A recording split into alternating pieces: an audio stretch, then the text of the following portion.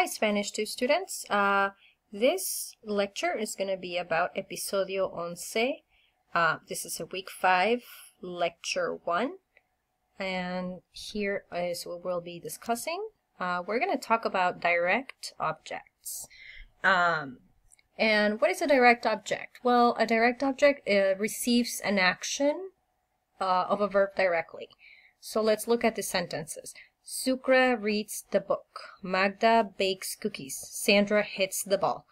Um, so in all of these sentences, you can definitely find the subject, who is doing the action, the verb or what the action is, and then there's something that is affected by this action. So um, in this case, the book, cookies, and the ball are uh, direct objects. Um, and sometimes direct objects can be people or things. Um, so my sentence here is Sandra hits the student. The student is the direct object taking the action. Um, and I'm using do as the direct object. So the direct object will answer the question what and whom regarding the action of the subject in the sentence. So think of who gets affected by this. Um, um, and then we have we usually replace the name of an object with an object pronoun. Um, and we do this both in English and Spanish. So I'm just going to go ahead and give you a silly example in, in English, which, you know, just to make sure that you're following me. Um, so Paul buys flowers once a month. He takes the flowers home. He gives the flowers to his wife. Um, so it's okay to mention flowers once, you know, because you have to tell me, kind of be specific. But after that, it sounds a little repetitive. Uh, so in English, what we usually do is we will mention the direct object once uh, and the subject, right? Um, so take a look at this. This is with the direct object pronoun.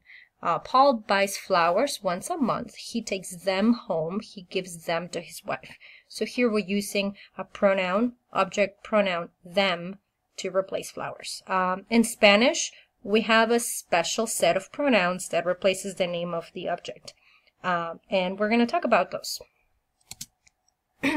so direct pronouns, direct object pronouns. Uh, when the pronoun replaces the name of a direct object, use the following pronouns. And these are going to be different from the subject pronouns. Me, te, lo, la, nos, os, los, las. Okay. Um, so, and um, when do we use these? We will use these after the verb. So take a look at this. I'm sorry, before the verb. Uh, in an affirmative statement with one verb, so remember, one verb, the direct object pronoun comes before the conjugated verb. Okay, so let's take a look at the sentence, okay? I have the cookie. Um, I have tengo the cookie, la galleta. Okay? So, what if I don't, I'm talking about cookies for quite a bit of time. Um, I'm talking about a particular cookie. Um, and I don't want to sound repetitive, right? So I will eventually, instead of saying la galleta, la galleta, la galleta, I'm going to use it and I'm going to use la, right? So, tengo la galleta. Uh, another easy, simple way to say it is la tengo, right? La means la galleta. Tengo is I have, right? Because tengo is conjugated to the yo form. Okay, so notice how this direct object pronoun comes before the verb. And it's only one verb that we're dealing with here.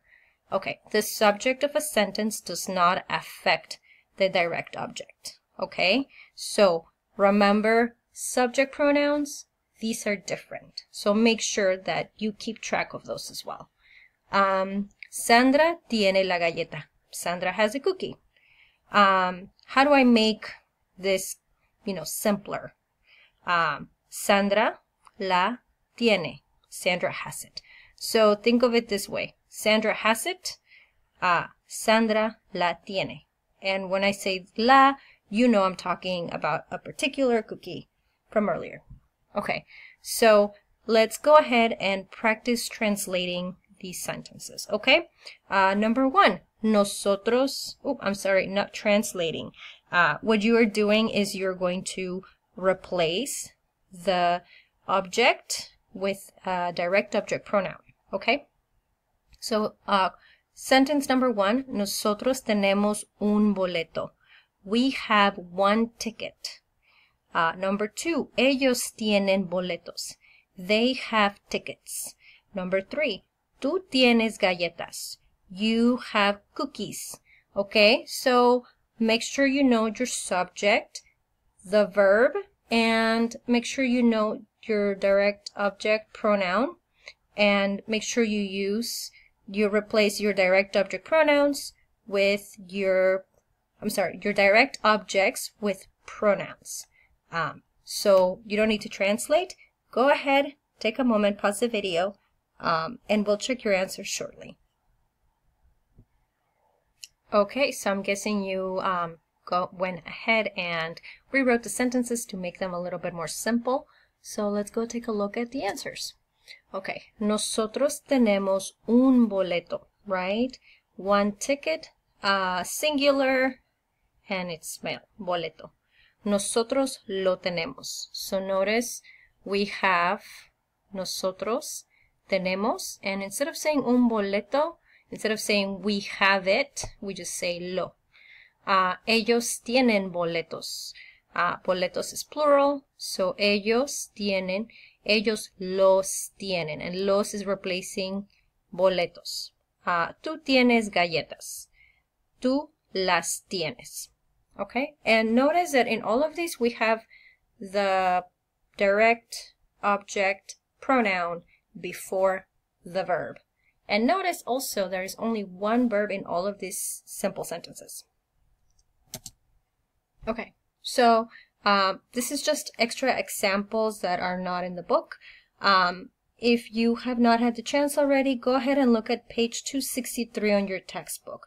Look at exercise F and notice where me is placed in relation to the sentence.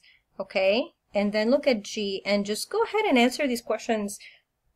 Who does what for you? Um, this is very helpful uh, because uh, chapter 11 is focusing a lot on me y te. So the you do this for me and um, I do this for you. So just the me and the te.